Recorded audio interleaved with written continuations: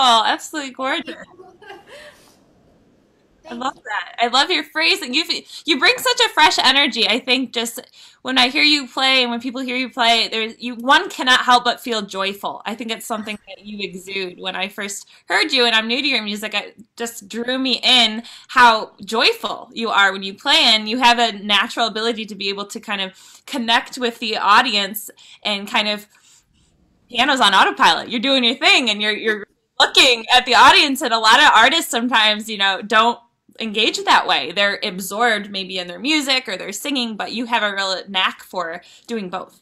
Oh, thank you. Thanks so much. It's actually um, something I really worked on a lot when I was when I was younger, being able to to look up and like look around. Um, but it's even more different. It's more different now that we're all doing so much with the screen, and it's like you're looking at the screen, and it's a really. Um, it's sort of more sterile. You know, it's like being in a recording studio. It's like in the in the club or in a you know on a gig, you're looking around, you see people, you see, you know, maybe like you see the bar and you see the tables and you see people. Um, but then here, I just see like the screen, and it's it's really um, different. But I try really hard. to imagine, you know, and of course I can see you, and that's great. But like when I do my other live streams, uh, like Facebook Live, you know, of course you only see yourself. Right. It definitely is a challenge, but you make it look easy. Thank you. How about we just talk a little bit about um, how you got into music, how you got started? Was was um, singing first for you? Was was piano first? How did that kind of come about? Your story. I think you know my, my family's musical. My father plays trumpet and flugelhorn with me. He plays a lot with me on my Sunday shows, um, and you know, so I was around music and, and I love to sing. I think kids love to sing all the time anyway. You know, you sing to your, I had a dog, I would sing to my dog, I would sing to my dolls. Um, and he really wanted me to be a musician, so I was studying piano, I studied trumpet, I studied drums. Um, but I really liked, actually, I, I, played trumpet all through high school, through school. Um, but I liked the piano because you could sing and play at the same time, and I really liked to do that. And we started working, uh, my band with my father in Oklahoma, which is where I'm from. We started working uh, when I was around 12 years old out there. Um, so it was just something I'd always really wanted to do, and I started really early. Yeah, I'll say. so you're kind club pro by the you know in your tween years you were clubbing you were getting all that hands-on experience so early. We did a lot. So we started out at borders books and music. I don't know if everybody remembers borders but it's like a barnes and noble and they had a cafe. Um, and we would play we did a lot of um, brunch gigs. It was two to four and then at night i think maybe it was six to eight or something. And, and we would do these shows for a few years maybe a year and a half before we moved into like nightclub settings because I was still pretty young. We started playing in like bars when I was about 14. Um, and it was great because I used to get super nervous. Um, and I feel like the only way to work through that is to kind of just do it. And so I was able to get over being nervous and I was able to learn a lot of songs and able to have a lot of experience and learning experience um, when I was really young, which makes it easier, I think, to get away with certain things with the audience because they're like, oh, it's so cute, it's a child, you know, as opposed to when you're an adult. wow. So, in terms of um, kind of your style when you first started out to your evolution to where you are now, how would you, in your own words, describe your style? Well, I always, um, I think I've always had sort of this, I, I don't want to say the same, but I've always had a musical idea and a musical personality that I think has has been with me from when I was very young. Like that's one of the first songs I ever sang in public, and I still I still love it. You know, and my my people that I wanted to sound like back then was Dinah Washington, Billie Holiday. Um, those were my two favorites really. And then with piano, I loved the block chord stuff. So I loved like Erroll Garner and I loved Red Garland. I loved Wynton Kelly, and I feel like those are all still the things that are really dear and important to me. So, I mean, I've gotten better. and I think, uh, you know, certainly as you, just as you grow up, like as a person and you mature, you know, little points of view change and even, you know, your voice physically changes. Um, but I think a lot of, I think I'm still, you know, on the same uh, path and toward heading towards the same goal as when I was little and with yet within that do you feel like as you've you know kind of grown through the years found your own voice as an Yeah. artist? Yeah, definitely. I think, I think you know, I, I definitely feel that way now. I would say, the past few years, maybe the past four or five years, I've felt, you know, physically like my voice has really finally developed into like my adult voice as a woman. Um, just the sound, the timbre, and, and finally I feel like I've made some headway with technique. You know, which can take a long time. You know, when you're when you're t- like wanting to expand range or things like that. Yeah, these different instruments you have to become very adept at. Exactly. So I feel like that's happened, and I feel with the piano, I you know I've reached a level of feeling comfortable so that I can uh, be more confident trying things, or you know uh, that I don't have to think so much about the instrument. I can think a little bit more about the music, and I think that takes so much time um, that I'm glad I started early. Definitely. Do you have a, a kind of regimented, disciplined practice structure, or are you more like me? Do you not practice enough? Well, I definitely don't practice uh, enough these days. So when I was when I was in school, when I was in college, I went to SUNY Purchase for jazz piano, and that was great because that's all I was doing. Because I had done a lot of AP courses in high school, so I tested out of a lot of liberal arts, and I was able to really focus on music.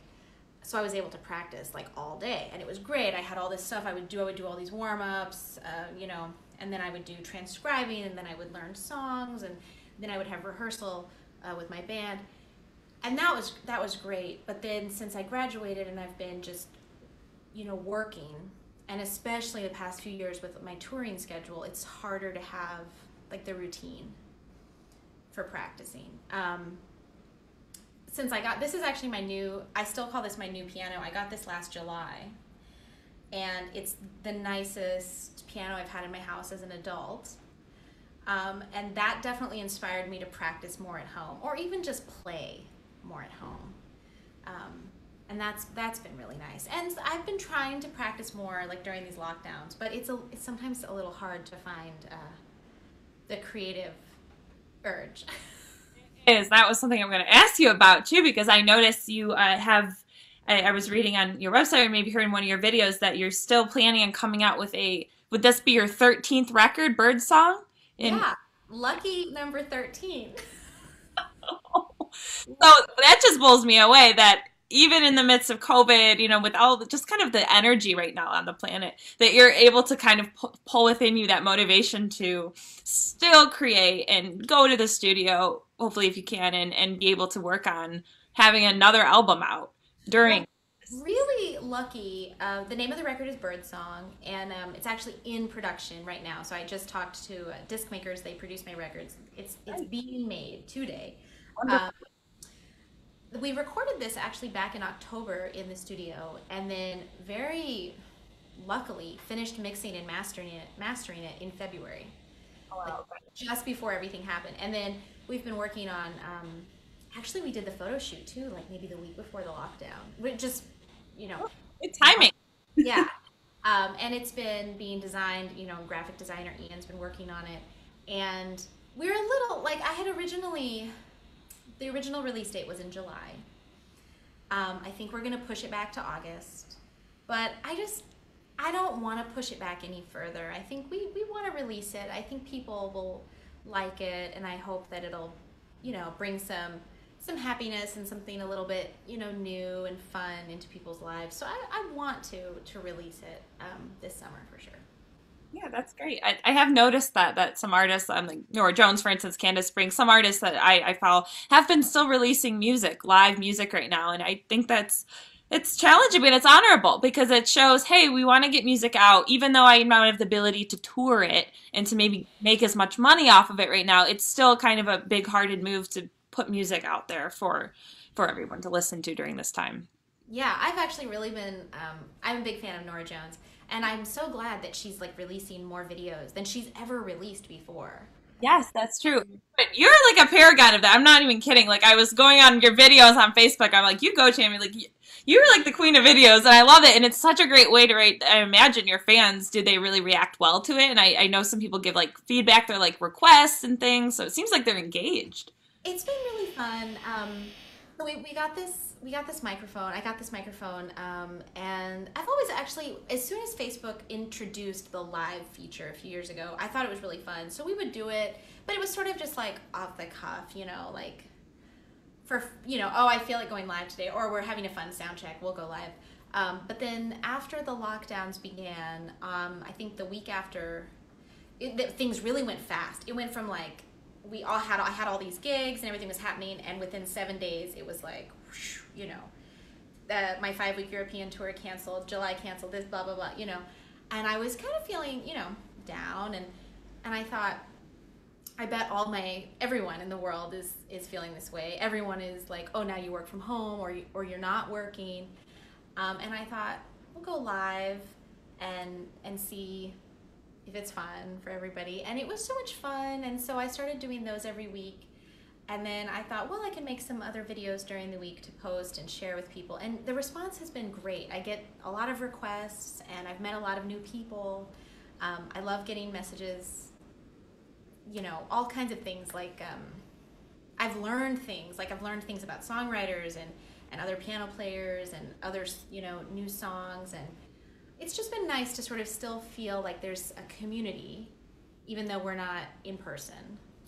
I'd even say, just from my point of view, this Hannah's Corner wouldn't be happening. I wouldn't be able. I don't think this kind of interface would be happening without something as a catalyst of, of the lockdown. I think in a, in a kind of an uh, in a sense, it's almost forced us to be more of a community and to cling on more to digital and using this interface. So I, I'm just thankful for that because now I'm able to kind of connect with artists like yourself who otherwise would probably turn down an opportunity like this, be busy touring, or not really be able to mentor or talk with an artist who's just starting out. So I think it's um, been kind of a blessing in that sense. No, it has, and I think it's also sort of you know a, a new time and and kind of things can happen in a new time, like you're saying, that can't happen when everything is sort of the usual. You know, like I was telling you before we started, before we went live um, I've really wanted to be a Yamaha artist for a long time, and I, have uh, connected with them, and, and you know, it just never really, you know, it never happened. Um, but after I started doing some of these Facebook Lives, um, actually I heard from them and they were like, oh, we saw your videos and, you know, that's great. We'd like to list you on your website. Would you like to be a Yamaha artist? And I was like, wow, yes, I would love that, you know. Um, but so it was kind of amazing that something good yeah could come out of this. Wow, that's great. And you've always wanted that. It just yeah, they have a really awesome space here. Um, I live in New York City's the Upper East Side, and uh, the Yamaha Artist Studio is I think it's on Madison um, in Midtown. I've been there, and it's just it's it's a great place, you know, where you can go practice and try out new pianos. They have a recital hall, and I always thought like, oh, I want to want to do that. you can. That's awesome. That's great.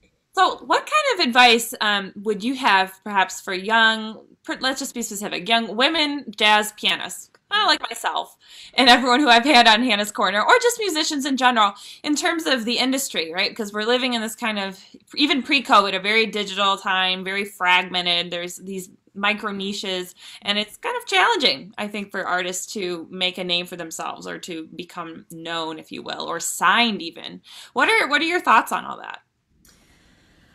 I I um I know exactly what you mean. I certainly had those feelings. Sometimes still have those feelings. I think everybody everybody does because it does sort of feel like there's this machine in our industry.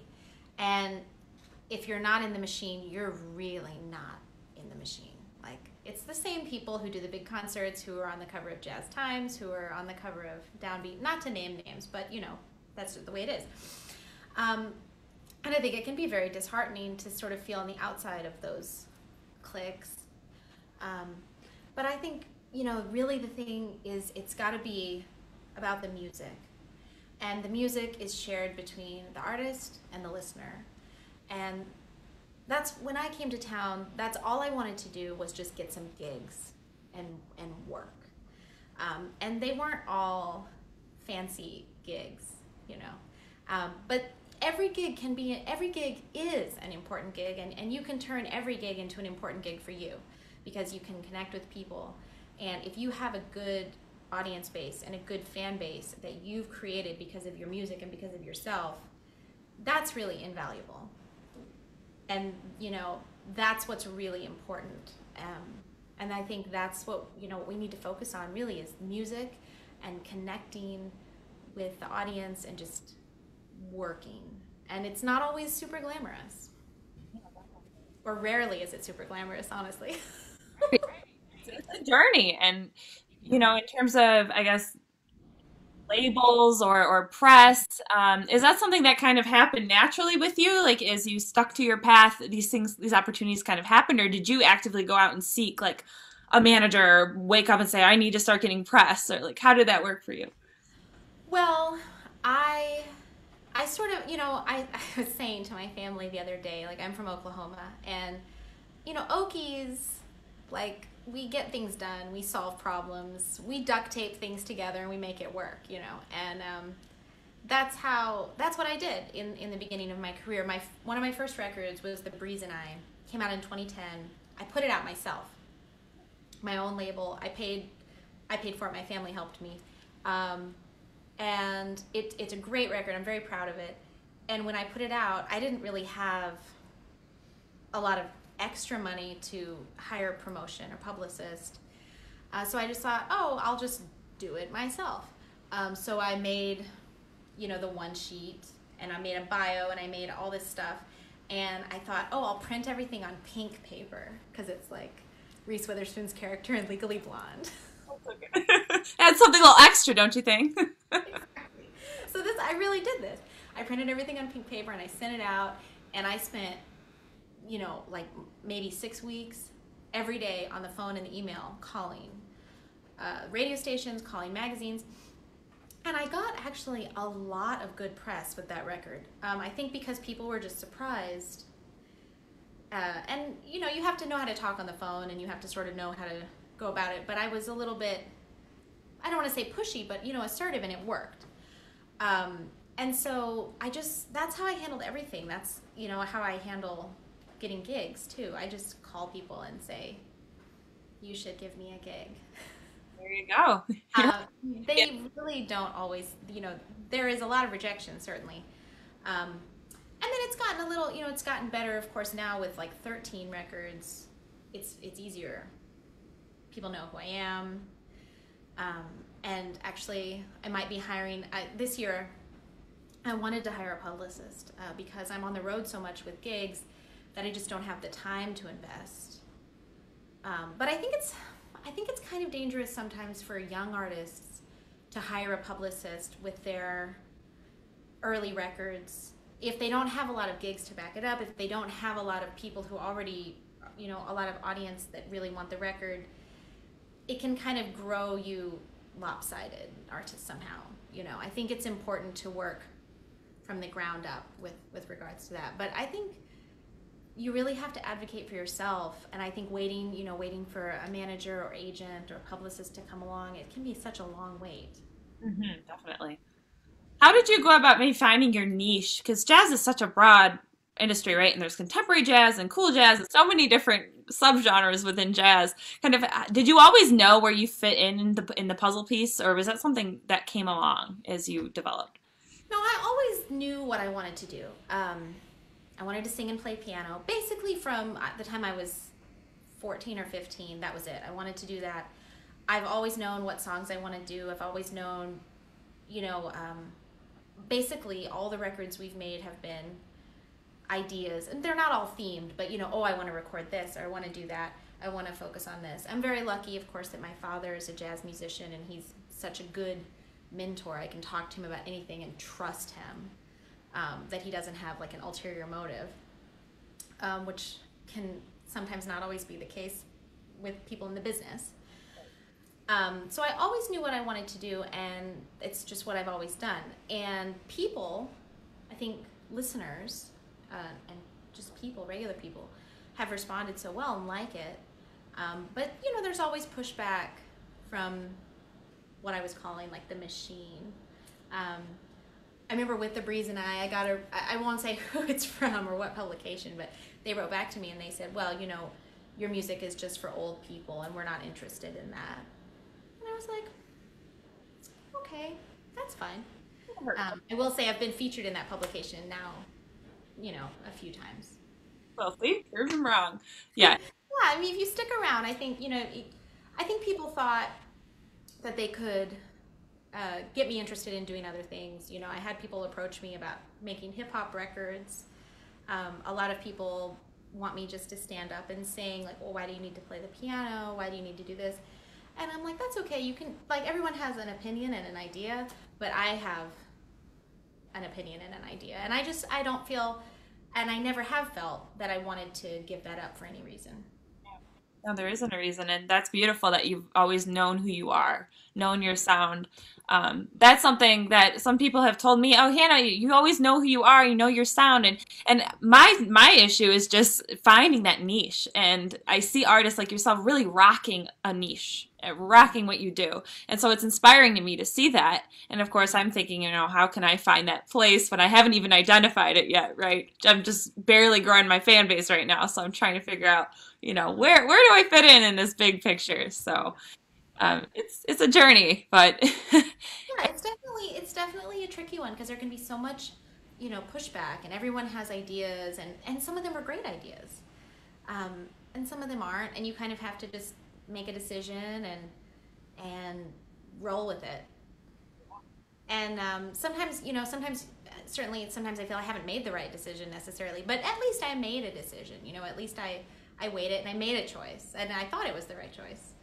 Um, but I think that's important too, not to just kind of go where people want you to go all the time. Yeah, definitely. And you've also you've made education quite a bit. You, but you care. It seems like a lot about giving back. And and how has mentoring young jazz art, artists been? Have you noticed just what have you noticed? What struck you about you know young musicians today? Well, I've always really wanted to be involved in jazz education because I grew up. My father was really good friends with Clark Terry, and so I always saw Clark doing. Uh, he did a lot of clinics when he was uh, still around in high schools and colleges, and he was very inspiring to people. And I liked that. I was drawn to it, and I wanted to sort of do that myself. Um, so I have taught, you know, I've done summer camps and I've done, you know, a lot of workshops, things like that. And I think it's I just like it. Like I just tell people, if you want to talk about jazz, you want to talk about jazz piano or jazz singing or anything, I want to talk about it. I love that. That's all I want to do all day. I sit at home and I, I listen to music and I read books and I'm in, you know. And I've I've really enjoyed getting to talk to some young musicians and now as I've gotten older, you know, they they get older and you're like, "Oh my gosh, I've known this person since he was like 14 or something." Um, but I think it's I think it's really important. I think the music has to be passed down through generations, and I've been lucky to have older musicians, you know, be willing to be my friend. Um, one of my best friends actually is Lou Donaldson. I just talked to him like two days ago, and he's going to be 94 in November. Um, and he's just it's great to be able to talk to him about about music and about you know how I'm feeling about music or about life or anything and just get his perspective and go oh, okay like it's nice to think you know I'll tell him something and he'll go oh yeah I used to feel that way and I'll be like oh yeah okay I'm not alone You can relate. yeah exactly Yeah. What um, um do you have like a favorite story about a, a you know a mentee of yours or someone in you know who uh, you really see has potential or favorite young mentee of yours? Well, I've been really, I've been really happy. Um, I don't know if you know Oris Jenkins. He's a piano player and singer. He's from Connecticut, um, and he's pretty active on on Facebook. And I don't know, he might be watching right now. Um, but I've just been, he's a great singer and great piano player, and he's really stuck with it. He released a tribute to Nat King Cole last year, and I just thought, I just thought it was great. And I've been so happy to see him you know what you really want to see is just that people persevere you know that they stick around that they keep doing it and and i've i've been so happy to see that he's still keeping keep doing what he's doing and that's the best thing i think you can hope for Definitely, definitely to see someone honor their voice and pursue their pursue their dream. Mm-hmm. Like you said, keep keep in the game, keep creating content. Something you've you've really shown prolifically with, with all your records that are out, and that's quite a feat. I, I find it just challenging as an artist to it's like I don't know. In, in a way, it's like your baby. It's like this this album, and it takes like for me, it's taken like a year to just of the conception and the theme and putting it together and everything. So I can imagine having twelve. There's probably a story behind every album. Do you have like a theme going in? Do you have a vision of like how you want an album to sound or be at the very beginning, or is it like an evolution? It's all. I would say each one of them has been different. Um, the breeze and i which was the, the one i mentioned earlier that was my one in 2010 it was actually at that time it was it was my third record but it was my first one to do myself. Um, and the, the theme was loose because i had a working trio at the time. I mean i still do but it was a different trio then. Uh, fukushi tainaka on drums and neal miner on bass. And i just wanted to make a record that reflected that band. So we just picked the tunes that we li- that were our favorites that we were working on and playing and that was the theme. Um, but I've done um, my album After Dark is the music of Dinah Washington, which was super easy um, to put together because I love Dinah Washington. Um, I did a record called Speechless, which was all of my original tunes, which was something I wanted to do. Um, but it's always like, I don't know, all my favorite people, like Dinah or Red Garland, they made so many records. And that's part of what we love about them. I think you know, like if you want to listen to, I love to listen to Count Basie. Like there's so many records, and everyone has their own favorite Count Basie record for their own reason. Uh, so I just felt like, as a jazz musician, if I wanted to be like my heroes, I needed to make make records. Um, and so you know, yeah, I'll think of a theme, and then I'll think of who I wanted, who I want the band to be. We've done live records, you know, so then it's like, okay, I want to uh, make a record in this club or in this venue. Um, and I to me it's just really fun and I love to get but but I'm kind of like once I get the theme or once I get the idea for it, I'm like, let's go, you know. Like I'm ready now, you know. Yeah, there's a lot more involved and more delays. You know, the detour ahead, right? There will be detours. Exactly. I just want to get it. I want to get everybody on board and and with my current band right now, we, we tend to rehearse, uh, not necessarily a lot, but we for a minute there we were rehearsing every week because we were working so much. So we would just start rehearsing, and then it was like, okay, let's set the date, and then maybe a few weeks before the date, decide what the tunes are going to be, and then just go in and record it. And then I want to like mix it as soon as possible and get the cover up work done and get it out because I sort of feel like the longer you take, the more ideas you have. Like, oh, well, we could have done this, or we could have done that, and it, it slows it down. I have a notes on my phone where I just write down. You know, right now I have my my, my EP that's to be scheduled hopefully for the fall or next year, early next year, and I keep swapping out like should be this tune or this tune or okay maybe the next album. You know, and you probably can relate where you had, just have as time goes on so many more ideas for like the ones ahead. So it's yeah, you have tons of ideas, and then also I don't like to make the plan too far in advance because like I change. Like maybe I love this song, but in two months I'm not gonna love it. So let's do it now while I love it, you know, and not wait and then I change my mind. Um, so I, I kind of just like to get things to get things moving. I think there's two records right here. I was gonna tell you this one. Um, we just this is my most recent one.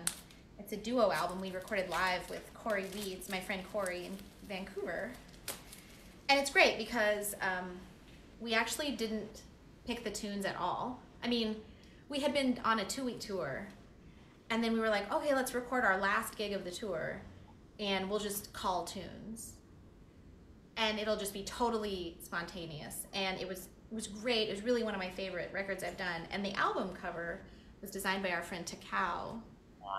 Um, and it's nominated for a jazz album artwork of the year. Wow which is kind of cool. Yeah, it's cool. I it with the Jazz Journalists Association, so I really hope he wins because for that. How cool! I'll have to let Abby know who's doing my album. Odd, like it's so it's so odd, right? That's what makes it special. I think I have I can't say I've seen one like that before. It's really the hands are enormous. Yeah, I love it though. so he's he's great. He makes a lot of really interesting jazz illustrations, and um, I think that's cool. So I hope he wins. Yeah like that you you still make records because you're seeing with the digital advent, you know, artists go completely to online, and it's nice, right, to have albums because people still buy albums. I feel like, don't they? Oh, definitely. I I mean, yes. And I think you know, like when you're when you're touring or when you're on the working, not touring, but even just playing gigs, I think people like a souvenir. Um, I even, you know, I know people order CDs and buy CDs from me that don't even have CD players. Um, but they just like, you know, the idea of having it or being able to put it up somewhere.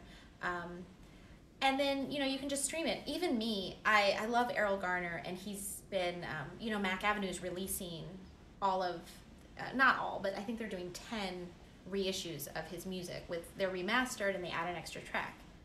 Um, and I just listen to them on Spotify because I, I use Spotify. I understand the evils of Spotify, but I use it. Um, but I've still been getting the CDs just to have them, even though I don't listen to them. So I think CDs are important, and I, I think I don't think they'll go away. I know people are always saying that, but I don't think so. Yeah, I'd agree with you. I, th- I think they'll be around for a while still, especially if they're going back to vinyl. If that's in, then CDs will still stay. Yeah, and I think you know it's cool, like because you have a thing you can hold in your hand, and like we have liner notes inside, and I don't know the liner notes are, are really fun. Actually, on my on this record, Birdsong, um, I hired a good friend of mine who I think is a wonderful writer. Uh, and I, we haven't always done liner notes on the records, but I wanted to on this one, and I'm so glad we did because the liner notes are really great. So I'm excited for people to read them. Definitely, That- that's an important part. You want to give credit to every, where credit is due, and a lot of times, like on CD Baby, there isn't really a spot to highlight everyone who's gone into it. You know, from the cover art and the engineers to the arrangers. So, yeah, I'm I'm glad you're doing that still. That's great. So I'm so excited for Birdsong. Could you eh, maybe give us a sneak peek? I don't know, a little bit. Tell us a little bit about it. Maybe play a song from Birdsong. Yeah, definitely. So it's um, it's a tribute to Charlie Parker, um, because it's his 100. It's his centennial this year, 2020, um, and it's some tunes that he wrote, like Quasimodo and Yardbird Suite, um, but it's also the jazz standards and ballads that he played. Uh, we do Just Friends, Star Eyes. Um, it was really fun to work on this record because I love Charlie Parker and I grew up listening to his music a lot. Um, and it's it's just gonna sound really funny to say, but it's super hard music. Oh yeah. Like even the standards, I hadn't ever realized, but you know, he had such a beautiful sound. I I know he knew he had a beautiful sound. Um, and he plays these songs that are super rangy, like uh, Star Eyes and uh, My Old Flame, and even Dearly Beloved. Like they they have big interval jumps, and I hadn't really realized that that makes it hard. Secondly, he evidently loved to play songs that are really happy or even sappy lyrically, um, which I was new to me because I sort of tend to pick songs that are maybe a little bit more melancholy. Um, and so as we got into the, you know, I, I made a huge list. I make a lot of lists. So like all these songs, we started narrowing it down. I was like, oh my gosh, these are all really different for me. Uh, and so it was it was hard. It was really hard music and hard like even the changes. You think, oh, they're not that they're not that difficult, but then they're difficult to be creative on. Like dearly beloved is just. Uh, you know that's dearly beloved da da da da da. You're in A flat for like five minutes. That's it. You know? Well, it's A flat, but then you know it's kind of like like I'm like, dang, I'm not. I you know make you you feel like, oh wow, I'm really not. I'm really not Lester Young. You know. Um, so it was it was hard. Um, but we one of my favorite tunes I think is actually the opening cut, um, which is Just Friends. I think is the opening cut, and we did that, and we have a really great arrangement that's actually a slow waltz into a slow four. It's really pretty, and I would love to sing a little bit of it for you guys. yeah. Please, we'd love a preview.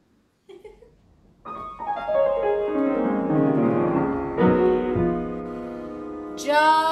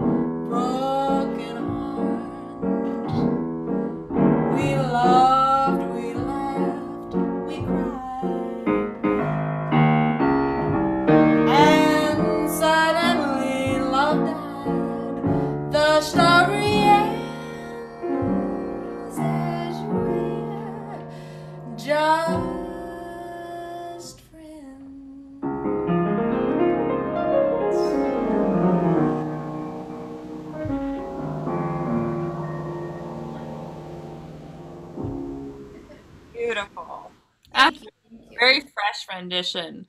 You just bring such of your own flair to these songs that have been that are timeless and have been covered so many times. But yet yours seems it is original, and that's what's really beautiful. I feel like anyone could just listen to you for hours. oh, thank you. That's nice.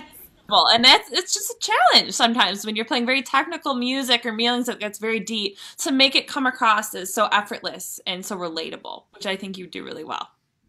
Thank you, thank you. That was a really fun arrangement. Um, it's that cut. The my of course my bass and drums are on there, and Scott Hamilton is on there on tenor sax, and um, it was a really uh, fun. I had this idea, and I wasn't sure it was going to work, but I think it, it worked really nicely. The guys sound really good, so I miss my band. That's what I was just thinking of. I love the waltz. I've never heard it like that. It's really cool. I love waltzes. Actually, I really love to play in three. Um, my band does not always agree with me, um, but I really, I just really like to play in three. And I got that idea. I'll just, I'll tell everybody. The it's not.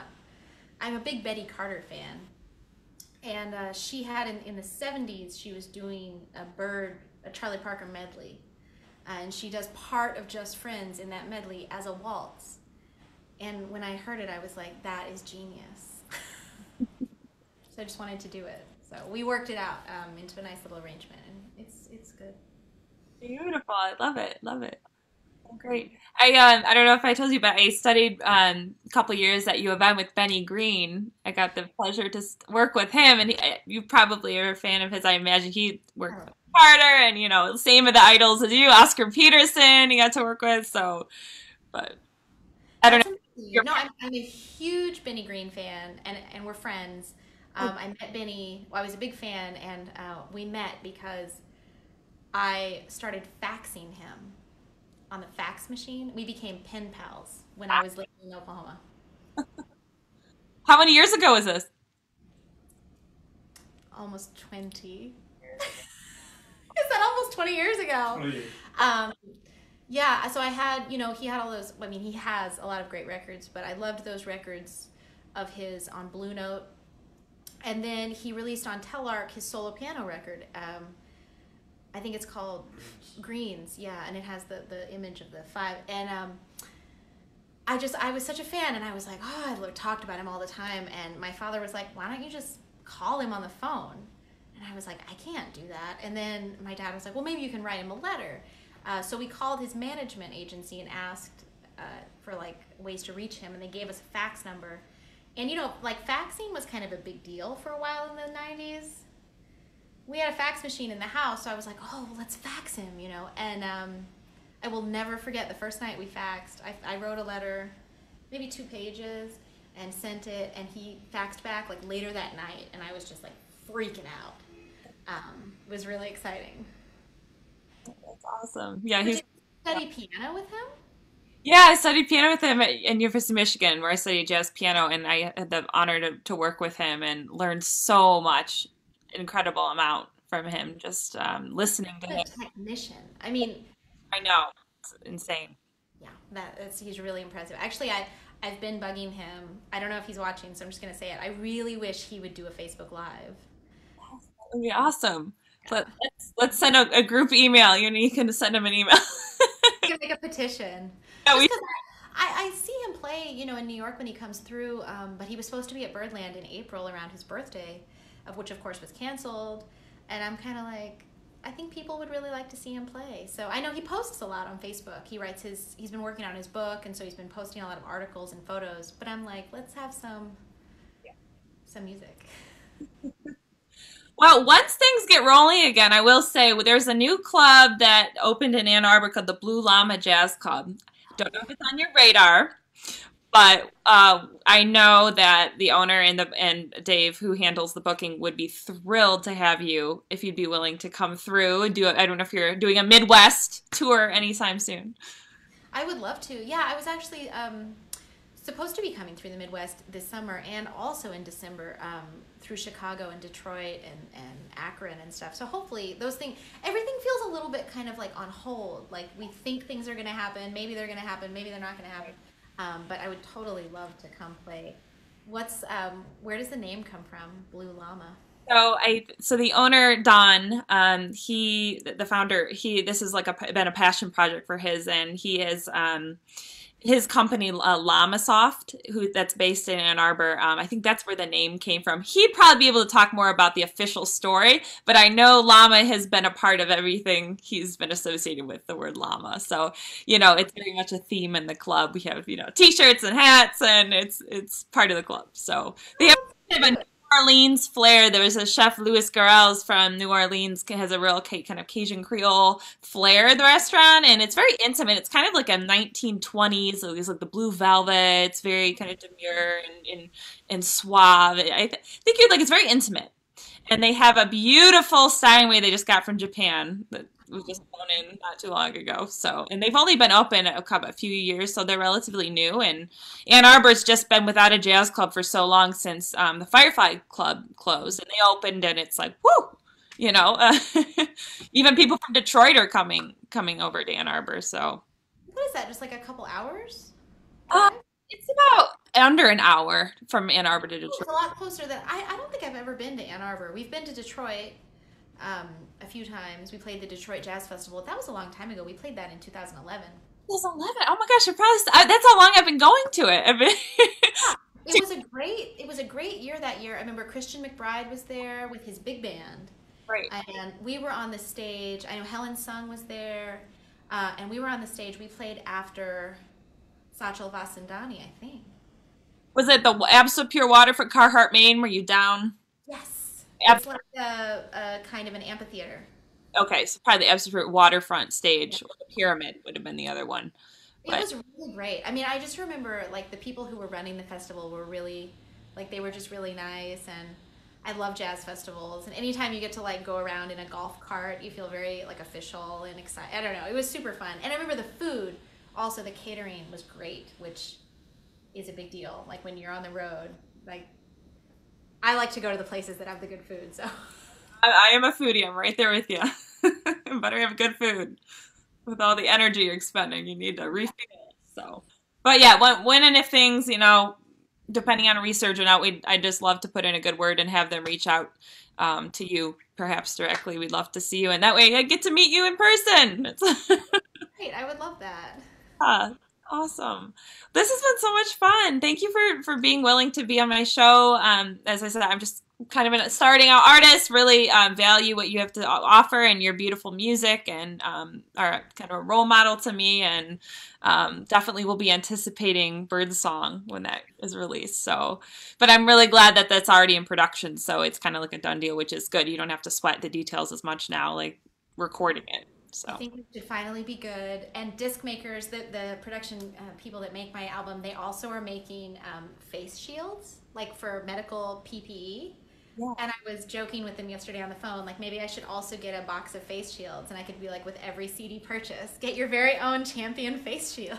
Hey, why not patent that? I mean, so you're doing that, and you're gonna do the um the what was it now? Be like a patron for um what were we talking about at the beginning? For uh, for Shure microphones, because I'm in love with their I'm in love with their MV88. Right. Because I'm not joking. You have the best sound setup that I've heard, and I've been listening to a lot of musicians. It's the most simple because it really is one. It's just one microphone. It plugs directly into the iPhone. Um, I know it's on back order right now, but uh, it's a great mic. Uh, you, because you've been suggesting everyone, everyone's going out and buying it because you have it.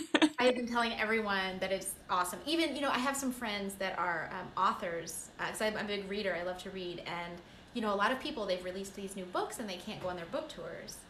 Um, like Erik Larson, he has a new book out called The Splendid and the Vile, and uh, it's a nonfiction. I, I'm a big fan, and I was telling him on Twitter, like, because I was watching him do book interviews, clearly like just with his phone, and I was like, Erik, you got to get a stand, and you got to get a ring light, and you got to get this Shure MV88, you know. so, I sing its praises. awesome. Well, if you don't mind, will you just post what you have? Um, just the name, the brand of the light, and the the name of the recorder, and that would be awesome. So when and it does become available, we can all get it. Yeah, of course, Hannah. Sure. All right, thanks. Well, awesome. It's been a pleasure meeting you virtually and, and talking with you, and hopefully we'll get to meet in person. And for everyone watching, thanks for tuning into Hannah's Corner, and have a fantastic night. Thank you so much, Hannah. I'll see you again. Champian, have a good night.